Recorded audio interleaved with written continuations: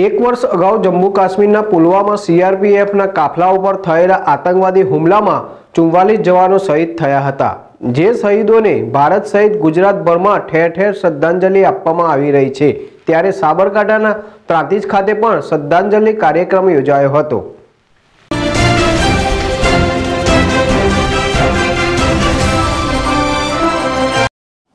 જમ્મુ કાશ્મીરના પુલવામામાં થયેલ આતંકવાદી હુમલાને એક વર્ષ પૂર્ણ થયું. આજે પણ દેશમાં લોકો લોકોમાં શહીદો ઉપર થયેલ હુમલાને લઈ આક્રોશ છે. આ કૃત્ય સામે ફિટકાર વરસાવી રહ્યા છે.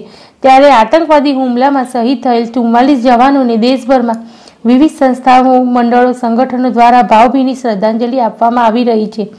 ત્યારે પ્રાંતિજ ખાતે પણ રાષ્ટ્રીય સ્વયંસેવક સંઘ, વિવિધ સંસ્થાઓ, મંડળો, સંગઠનો, નગરજનો લોકો આપમેળે ઉમટી પડ્યા હતા અને આતંકવાદી હુમલામાં શહીદ થયેલ ચુમ્માલીસ જવાનોને શ્રદ્ધાંજલિ આપવામાં આવી હતી, જેમાં હજારોની સંખ્યામાં લોકો આપમેળે ઉમટી પડ્યા હતા અને પ્રાંતિજ ભાખરિયા બસ સ્ટેન્ડથી સુભાષચંદ્ર બોઝના બાવળા સુધી કેન્ડલ માર્ચ રેલી યોજીને ઉપસ્થિત સૌ કોઈએ શહીદ થયેલ ચુમ્માલીસ જવાનોને શ્રદ્ધાંજલિ આપી હતી.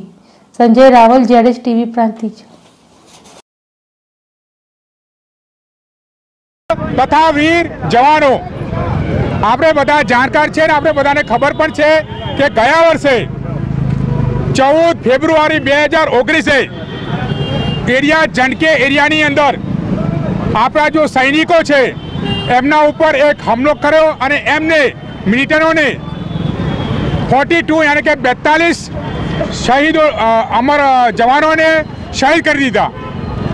મિત્રો, અને એના માટે આપણે બધા આજે ભેગા થયા છીએ અને એમની આત્માને શાંતિ મળે અને એમના પરિવારને બી આપણે બધા સહયોગ કરતે રહીએ.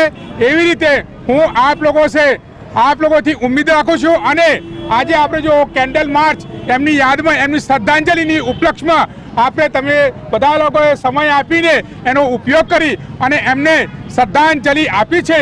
એ વિશે હું આપ અને અહીંયા મળેલા તમામ વ્યક્તિઓ ખૂબ ખૂબ આભાર માનું છું. જય હિન્દ, જય જવાન, જય હિન્દ.